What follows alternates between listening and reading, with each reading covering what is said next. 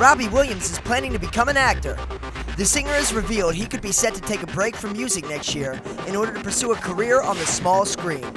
He explained, I've got a few irons in the fire that aren't necessarily musical. Nothing solid yet, but it would involve TV. Yeah, acting. I shouldn't have said anything because I can't say anything.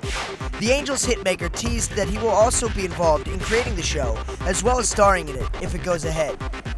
Speaking ahead of his Let Me Entertain You tour in Australia, he said, I've got an idea for a TV show that I want to do. It may or may not happen, and at the moment, it is happening, and I'm excited about it.